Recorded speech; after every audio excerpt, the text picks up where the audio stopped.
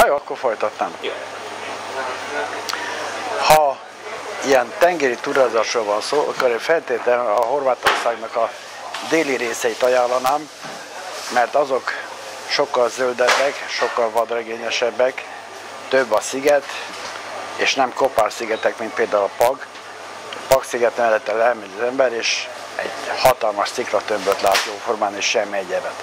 De a Pag szigettől lefele, tehát hogy Zadartól Dubrovnikig, ez az egész megváltozik, zöldebb lesz a part, zöldebbek lesznek a szigetek.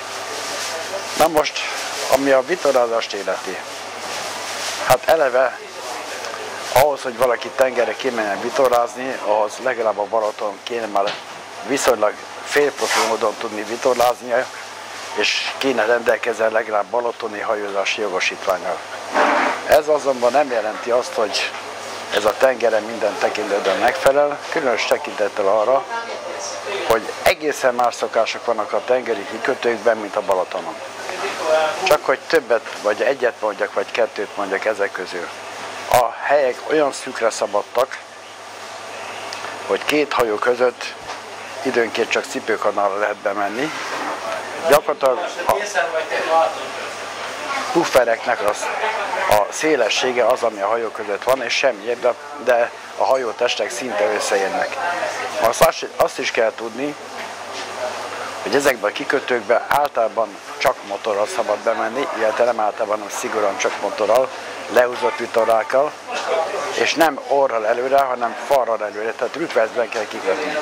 Ez önmagában véve egy nagy kihívás, mert ennek a gyakorlása Balatonnal nem nagyon történik, és erre csak egyetlen egy dolgot tudok mondani közvetlen tanácsként, hogy úgy kell manőverezni a hajóval, hogyha van úgynevezett orsugara, ami a hajó orrát mozgatja jobbra-balra, tehát ez egy könnyű könnyítés a manőverezéshez.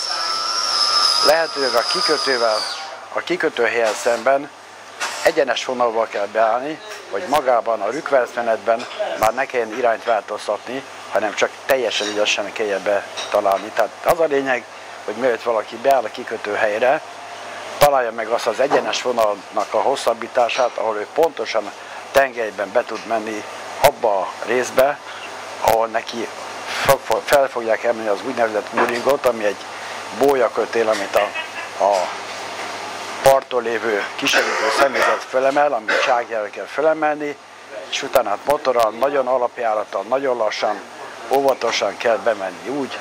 Ezen e, manőverek előtt ki kell készíteni a hátsó kiköteleket, e, ki kell készíteni a csákját, elég jó markú erős embernek kell lenni, aki az elejét felemeli, és még egy nagyobb fontos, hogy a, a hajó farára a lehető legnagyobb puffereket ki kell lógatni, mert a legkisebb manőveres esetén is, ugye itt 4-5-től 15 tonnás kik méretű hajókról van szó, a legkisebb koccanás és nagyon súlyos erősekkel járhat egy hajón, tehát összetörhet, lepattogzik róla a gél, meg ilyenek, és ez a puffer hátul ezektől meg tudja ezt védeni. Na most útvonalakban mit tudnék mondani? Útvonalakban én nekem a kedvenc útvonalam, most három-négy kikötőn mondok, mint indul a helyet, ez Vodice, Biográd, Szuboszica, a Zadar, az Ugyán szigetekről, az Ugyán szigetek, Primosten, de inkább ez a felső rész, és annantól lefele érdemes venni. Ami nagyon érdekes, a Szibenyik föl a Krika Nemzeti Park, ahova mindenképpen érdemes fölmenni.